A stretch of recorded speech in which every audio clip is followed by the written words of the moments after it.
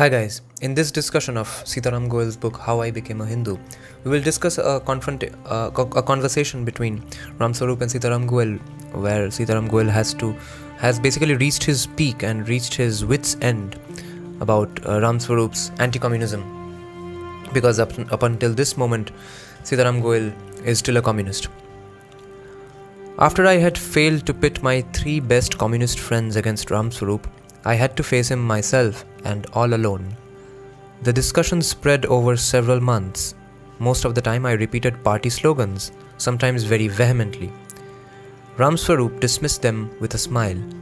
One day, in my exasperation, I struck a superior attitude and said, We find it difficult to come to any conclusion because I have a philosophical background, while you proceed merely from economic, social, and political premises. Ramswarup en- inquired what I meant what I meant by philosophy, and I rattled out the list which I had ready in my mind. Locke, Berkeley, Hume, Descartes, Descartes, Spinoza, Leibniz, Kant, Hegel, Schopenhauer, and so on. Ramswarup told me that at one time or the other he had studied all of them, but had found them irrelevant and useless. I was surprised as well as pained. Ramswarup explained Suppose one knows this philosophical system or that.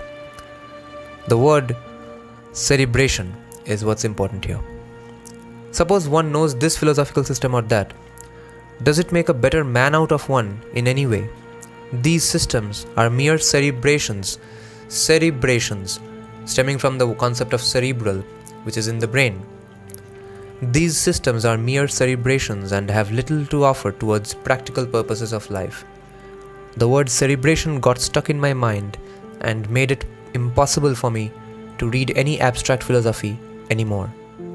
I had been very fond of Western metaphysics and epistemology till that time. The word cerebration bowls over Sitaram Goel.